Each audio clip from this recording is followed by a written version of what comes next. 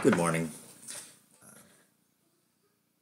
I'm going to use a few different programs today and demonstrate how I personally take a layered design from Design Edge and uh, import that into a program called Vinyl Master and uh, use that program to make a mock-up of what that sign will look like for a customer.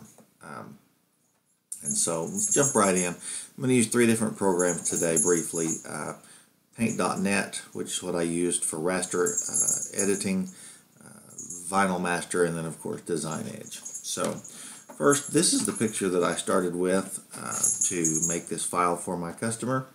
Uh, and they wanted a 24 inch wide sign uh, that was layered to mimic this ring. And so what I did was imported that picture uh, after I did some cleanup in paint.net uh, and I imported that into Design Edge and then traced it and made the layers um, to be what I wanted them to be to match that ring. So what I want to call your attention to is that anytime I'm doing a layered sign, I add a point of reference somewhere and that lets me move things around uh, but keep them in reference to one another. So if I wanted to see where this compass uh, fit, you know, on this layer, uh, I could move it and use the C center of this circle as my reference. And as you can see, because when I traced it, I kept that circle in the same spot all the time, uh, it lines up exactly where it's going to go. So no matter which what layer I'm looking at, uh, it fits. So that's the first most important piece uh, for doing this with your signs over there. It makes lining them up a lot easier in Vinyl Master also. Uh, so the uh, second thing I want to show you is um, uh, you know, come uh, when you are using snaps in Design Edge, you can there are a lot of shortcuts. And I left this thing out of line on purpose and I'm a little obsessive and so it's really bothering me. So let me show you how, if you wanted these uh, to be uh, the same height, uh, I you draw a reference line from the line C center, ortho snap across, and now how do you move uh, this row of drawings up to be level with that one? So you select them all I'm going to M move, C center. Now how do I get it level? Do I do I turn on my ortho snap uh, and and try to get on the line to get it close? No. In CAD there is no close. It's math. It's either on off, black white, no nothing in between. So you learn to use cheats with snaps. So I can use a P perpendicular snap, and then anywhere I click on this line, moves it straight up. So you can use these reference points to move things around uh, the layers in relation to themselves or even uh, to use them to move uh, the entire drawing or the whole layer uh, so that it lines up the way you want. So what I'll do now is I've already labeled the colors that these layers are going to be. I'm going to delete uh, this group of them because as you can see they have these open paths and I have shown in other videos how to make this uh, look like this uh, and these will not show up correctly uh, in Vinyl Master. Um, so you have to uh, draw a circle the diameter of your kerf uh, and snap it to the end point of that and then offset it each direction so that it will show you your uh, kerf. And I'm going to show you, I'm going to move it from the C center put that over here so you can see. So that's all that I have done, which is to draw that open path as a small closed path uh, so that it'll show up uh, in Vinyl Master. So it's a little time consuming if you have a lot of those, but uh, that's really the only way to do it. And uh, honestly, after you do a hundred of them on a drawing, you get pretty quick at it. So I'm deleting that. I'm going to F5 and that's going to zoom in so I can see that Here's all of our layers, uh, all with their own little reference circle and the colors. So I'm going to uh, Control E, I'm going to export that uh, and get in a folder I can find. And I'm going to do that. Okay, so then I'm going to open Vinyl Master. The program that I have is Vinyl Master DSR, which is the full uh, professional sign development version uh, without the ability to do the RIP export, which I think is is um, that's just something that uh, very large sign shops use, and it's not something I needed. Uh, but this has all the same features minus that one thing, uh, and I think it's around seven hundred dollars. Um, the next version down is Pro. Uh, and I think it's about 500 and it will do almost everything that this one will do. It has a lot of powerful text tools uh, for vertical text, uh, text on an arc, um, you know, a lot of things, uh, and, and uh, a lot of perspective uh, text tools um, that Design Edge doesn't have. And, and so I go back and forth on what I'm designing, um, and and you can use these tools and then I can export that as a DXF. And so you wind up, I mean, Design Edge is very powerful text-wise, but this is even more so. Um, so for fitting things to a path, I use Design Edge. For manipulating text to be a, a simulate perspective and three-dimensional stuff, I use this. So let me get off that, uh, chasing that rabbit. Um, because I need to import uh, the uh, ring. And so that was this layered ring. And I put it right there. Now, Design Edge works in inches, and I will, um, it'll be a, uh, it'll be an interesting day before I ever pay a thousand dollars just to be able to click to use millimeters. Um, so, never mind that. In order to make this um, into inches because this program works in centimeters. All I have to do is go up here to my dimension, make sure my padlocks are on, and you can do some math in the command line just like in Design Edge, and I can take any either of those dimensions times 2.54, which is how many centimeters are in an inch, and hit enter, and then I will have it um, all the appropriate size in inches in this program. Um, when you pull in a DXF into Vinyl Master, it is individual shapes that are not closed. Uh, to join those in Design Edge, you would push J. Uh, in uh, Vinyl Master, it's Y for combine. Uh, if you combi combine multiple things together, uh, unlike in Design Edge that keeps them you know individual, this program locks them together. So I could no longer separate those two words if I combined them together. Not important for words, uh, but for these layered pieces, I'm going to select just the drawing and Y. I haven't touched my circle, and I'm careful not to move these pieces. Uh, and I'm just pressing Y, which is over here uh, in combine. And so that gets me all combined and fills them solid. So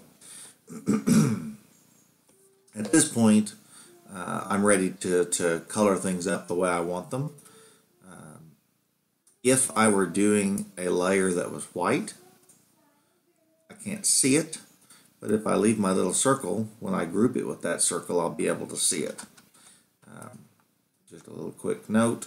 Um, this one is going to be gold. This one's already black, so I, am ready to group that one. So I'm going to select it all. I can use Control G or press Group. And this one we want to be gold, but I'm going to cheat that one a second. So I'm going to pick this one that says silver, uh, and I'm going to tell you I want uh, that for my finish. I'm going to actually use a piece of brushed aluminum and cut it. So I'm going to go up here uh, to Object, Insert an Image Fill and I'm going to go down to the bees and look, I have a picture of lots of stuff, of brushed aluminum. So I'm going to use open and that gave me an image fill and it trimmed it to my vectors, so now that piece looks like a piece of brushed aluminum with shadows, lights, reflections. I'm going to select it in its circle and I'm going to group it. This one I haven't done yet. It's gold. Fine with that. It's just paint. This one says gold, but what I'm going to do is um, I'm going to actually uh, make that into a piece of rusted steel just to kind of make it look uh, cool for our demonstration. And I have that in here as a sheet of Corten. It's uh, a lot of these images I get from Shutterstock, and I have a subscription there uh, to buy these. And let's see ABCO so there's a looks like a Corten which is just naturally rusted steel. So I'm going to open that.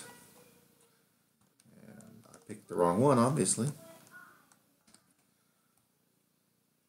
So image fill there now you can see that that looks like a piece of naturally rusted steel And I'll select all that and I'll control G to group it. Now I've got my colors done, I'm going to delete my, my notes. I'm going to make sure that when I select these, I see that that selection square goes up and around that circle.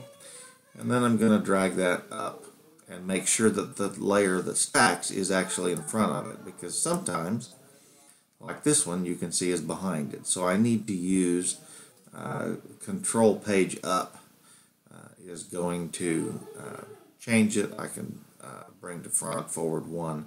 The snap for, or the hotkey for bring it up one is control page up. So let me control page up until I get it in front of it. I'm going to do the same thing with this layer. Get it up there in front of it. Now, the importance of having those little circles is um, when I want to line this up, then uh, minimize that just a little bit and see if I can make you see that menu. Um, I've got T for align to top, right, and right up above. I don't know why it's putting off the screen. It must be the recording. Uh, is left, align left. So I'm going to align these top and left. T, L. And since that circle was up there, that's what it lined to for top and left. So now all of my layers are stacked just right. And so I can select all of that. I can uh, ungroup it. I can select my little pack stack of circles and delete them, and then I can select my drawing and group it again. And so you can see that in wireframe mode. You can see that in actual solid field mode. Now, let's say you want to hang this uh, in front of a uh, brick wall. So now from this point, I control I to import and I get my brick wall. And I have a, a, a file saved with all my backgrounds in it that I can drag in already sized. But this is another Shutterstock image at the high resolution brick wall. Uh, but it's not the size. Uh, so I need to make this uh, 120 inches wide uh, and then it will be correct. So now my sign is the correct size. I did that by measuring those little bricks by the way and uh, adjusting the size of my wall till it was correct. That way I can drag this over. I can use control page up and get it in front of my bricks. I can put it where I want it on the bricks. And then I could actually go in here and I can add a shadow and I'll give it a 1% shadow each way and I'll increase it to an 80% like that. So now then I have a little shadow behind it, gives it some three dimension on the wall and I can select all of this. At this point I could, if I were showing my customer like you uh, have the big TV screen in your shop, uh, you know, this would more than handle uh, giving them a visual representation of their sign. If I were going to email this to a customer, uh, I would control E, I would export it uh, as a ring, and uh, you can change the resolution of it, but it's huge, so it's not an issue now. Uh, tell it OK. And then if I were emailing it, I would come over here and I would open that in paint.net.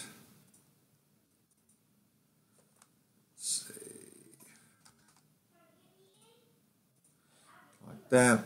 And then I would probably uh, do a layer and import from a file uh, and get my uh, logo. I have a PNG of my logo that also has no background so that I can uh, see the brick wall through it. I put my logo however big I want. Put it right up there with the drawing.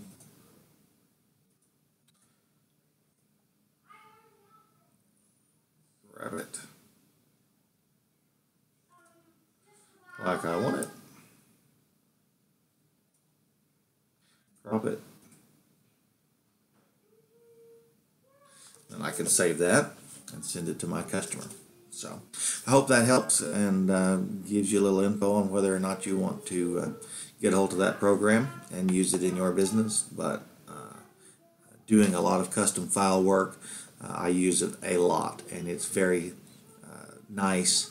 Uh, my file customers like it because they can take that proof to their customer and show it to them, and it, it's easy for them to explain their plan and and get a good uh, price for their work.